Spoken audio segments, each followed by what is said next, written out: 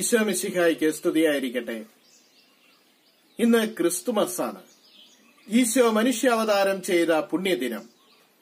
വിശുദ്ധ പൗലോസ്ലീഹ ഗലാത്തിയാക്കാർക്ക് എഴുതിയ ലേഖനം മൂന്നാമധ്യായം പതിനഞ്ച് മുതലുള്ള ദൈവവചനമാണ് ഇന്നത്തെ വിചിന്തനത്തിന്റെ ആധാരം. യേശുക്രിസ്തുവിലുള്ള വിശ്വാസം വഴി നിങ്ങളെല്ലാവരും ദൈവപുത്രന്മാരാണ്. ഓരോ മനുഷ്യനും ദൈവപുത്രനാണ്. ദൈവപുത്രനായിട്ട് ജീവിക്കുന്നു ദൈവപുത്രനായിട്ട് ജനിച്ചു ദൈവപുത്രനായിട്ട് ഈ ലോകത്തിലായിരിക്കുന്നു എന്ന സന്ദേശം പൗലോസ്ലീഹ നമ്മോട് സംസാരിക്കുന്നു. ദൈവപുത്രൻ ആണോ ഞാൻ? ദൈവപുത്രിയാണോ ഞാൻ? ഈ ഒരു ചോദ്യം നാം നമ്മോട് ചോദിക്കണം. ക്രിസ്തുവായിട്ട് എന്റെ കുടുംബത്തിലും ഞാൻ ആയിരിക്കുന്നിടത്തും എനിക്ക് ജീവിക്കാൻ സാധിക്കുന്നുണ്ടോ? എന്നെ കാണുന്നവൻ ക്രിസ്തുവിനെ കാണുന്ന അനുഭവത്തിലേക്ക് വളരുവാൻ എന്റെ ജീവിതം ഇടയാകുന്നുണ്ടോ? ക്രിസ്തുവിന്റെ ഛായയുണ്ടോ എനിക്ക്? അവന്റെ മുഖഭാവം എനിക്കുണ്ടോ? അവന്റെ ഹൃദയം എനിക്കുണ്ടോ? അവൻ നേടിത്തന്ന രക്ഷ ഞാൻ ഈ ലോകത്തിലെ മറ്റുള്ളവർക്ക് പങ്കുവച്ചു കൊടുക്കുന്നുണ്ടോ? അവന്റെ കാഴ്ചപ്പാടുകൾ എന്റെ ജീവിതത്തെ സ്വാധീനിക്കുന്നുണ്ടോ? അവൻ കാണിച്ചു തന്ന ജീവിത വഴികൾ എന്റെ ജീവിതത്തിലൂടെ ഞാൻ കാണിച്ചു കൊടുക്കുന്നുണ്ടോ? ഇതൊക്കെയാണ് ദൈവപുത്രനാണോ ദൈവപുത്രിയാണോ ഞാനെന്ന് നമ്മെ തന്നെ വിലയിരുത്തുവാനായിട്ടുള്ള ചില അളവുകോലുകൾ.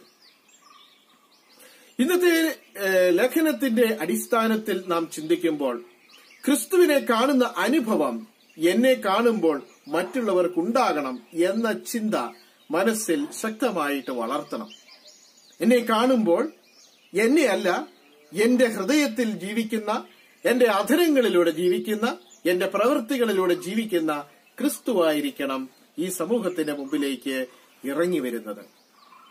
ഇന്ന് സമൂഹത്തിൽ ഒരു പ്രധാനപ്പെട്ട മൂടുപടമണിഞ്ഞാണ് എല്ലാവരും നടക്കുക. എല്ലാ വ്യക്തികളിലും തന്നെ ഒരു പ്രത്യേക തരത്തിലുള്ള ഈ മൂടുപടം അത് അവനെ പുണ്യവാൻ എന്ന തസ്തികയിലേക്ക് അവൻ തന്നെ ഉയർത്തിയെടുത്തു വയ്ക്കുന്നതാണ് കാവട്ട്യത്തിന്റെ മൂടുപടം.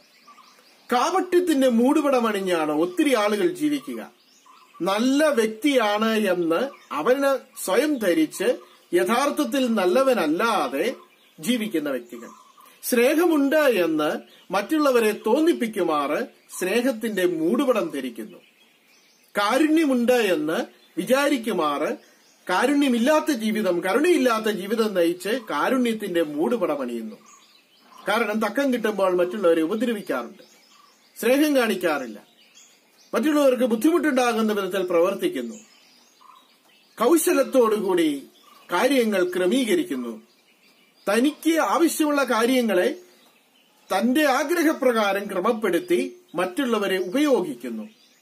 മറ്റുള്ളവരുടെ വികാര വിചാരങ്ങളെ വേണ്ട വിധത്തിൽ പരിഗണിക്കാതെ അവനവന്റെ സ്വാർത്ഥ താൽപര്യങ്ങൾ മാത്രം മുൻനിർത്തിക്കൊണ്ട് ജീവിക്കുന്നു. ഇങ്ങനെ ഒത്തിരിയേറെ കാപട്യത്തിന്റെ മൂടുപടമണിഞ്ഞ വ്യക്തികളെ നമ്മുടെ ചുറ്റും നമുക്ക് കാണാൻ സാധിക്കും. ഇത്തരത്തിലുള്ള എന്തെങ്കിലും കാപട്യത്തിന്റെ മൂടുപടം എന്റെ ജീവിതത്തിൽ ഉണ്ടോ എന്ന് നാം ഓരോരുത്തരും സ്വയം ചിന്തിക്കുക കൂടി വേണം. അങ്ങനെ ചിന്തിച്ചു നോക്കുമ്പോഴാണ് ഈ ക്രിസ്തുവസിൽ വിശുദ്ധ പൗലോസ്ലീഹ നമ്മോട് പറഞ്ഞ ആ വചനം യാഥാർത്ഥ്യമാണോ എന്ന് നമുക്ക് തിരിച്ചറിയാൻ സാധിക്കുക. ക്രിസ്തുവിലുള്ള വിശ്വാസം വഴി നിങ്ങളെല്ലാവരും ദൈവപുത്രന്മാരാണ്. ആണോ? ഞാൻ ദൈവപുത്രനാണോ? ഞാൻ ദൈവപുത്രിയാണോ? ഈ ചോദ്യത്തിന്റെ ഉത്തരം ഈ ക്രിസ്തുമസ് ദിവസം നമുക്ക് കൊടുക്കാം. നമുക്ക് കണ്ടെത്താം.